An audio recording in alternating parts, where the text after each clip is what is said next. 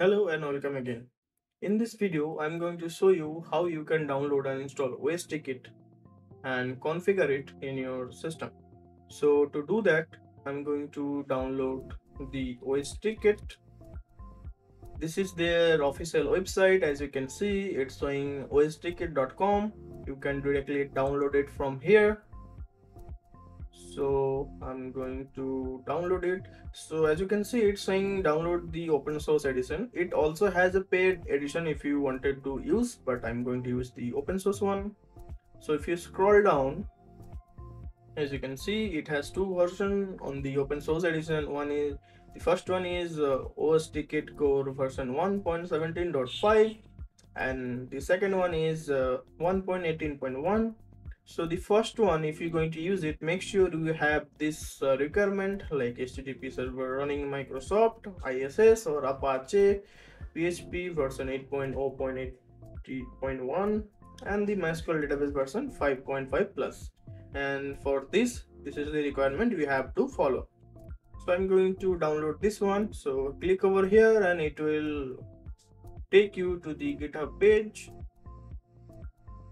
okay this is the version we are going to download. So scroll down and you will see this particular option. If you click it it will download. As you can see it's downloading right now. Okay now it's downloaded. Let's open this file. Okay so it's now downloaded. We are going to unzip this file over here. So it's now extracting. Okay so this is the file. I'm going to configure this on my XAMPP server. So to do that we are going to open the XAMPP folder which is in c drive. Then this is the folder for the apache. So we are going to paste it over here if you're using any linux server then you have to host it on your apache or nginx software whichever you are using on their www folder. So i have pasted over here. Now if i just open my control panel of XAMPP now we are going to open the admin. Okay so this is the file. Click over here then upload okay.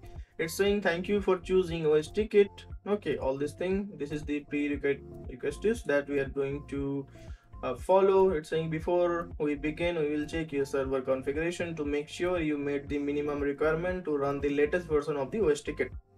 So these are the important thing that we need like php version 8.0 or greater. Okay i have this version installed and the mysql i extension for php module loaded. These are the uh, recommendation extension that we have to follow. It's saying you can use osTicket without this but you may be not able to use all the features.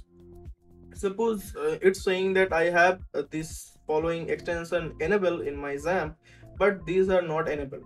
I'm going to show you how you can enable these things. So it will help you to do that so let's see that it's saying that php imap extension is required for mail fetching. Though although i'm not using the mail system but i'm going to show you how you can enable it. So just copy this extension like this. Now go to the c drive. I'm on the c drive. Now XAMPP if you scroll down you will find an option called php open that. Now if you scroll down a bit you will find a file called php.ini right click and edit that file. Now we are going to search for the imap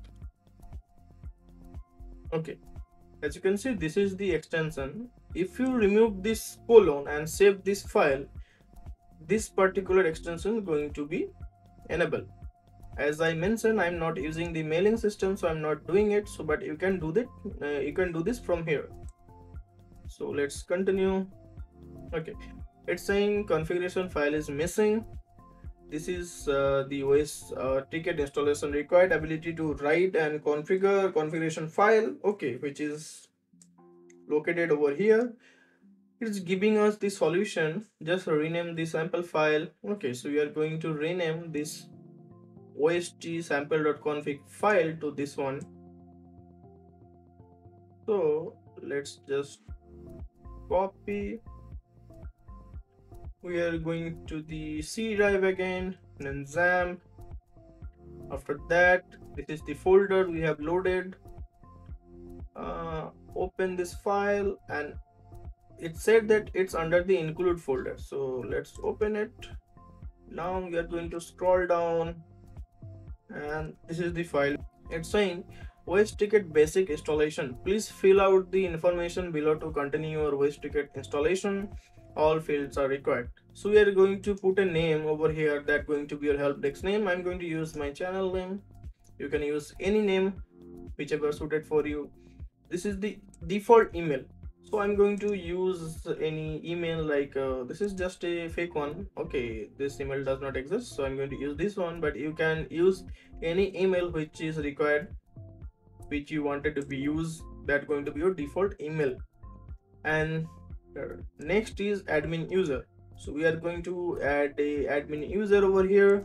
So let's say it will be admin first you can put any name like Pintu and this is the last name. Email id for the admin user so i'm going to use this one. Make sure both emails are different this one and this one. Both are different. So i'm going to use this one. Username using this one. Password. Make sure you remember this username and password. This is the username to log in on your admin portal now we have to create a database for this osTicket so to do that we are going to the mysql admin. It will open the my php my admin. So to configure that we are going to create a new database. So we are going to click on the new. Let's say it will be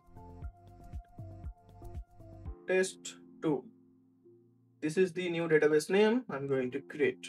Okay. The database is now created. As you can see it's created. Now you have to create a user who have access to this database. So click on it. Go to the privileges. If you scroll down you will see this option add user account. Click on this. You can put any username. I'm going to use the same name but you can use a different username if you like then local make sure the host name will be local and local host. This is the password for the user that we are going to create and that can access this particular database.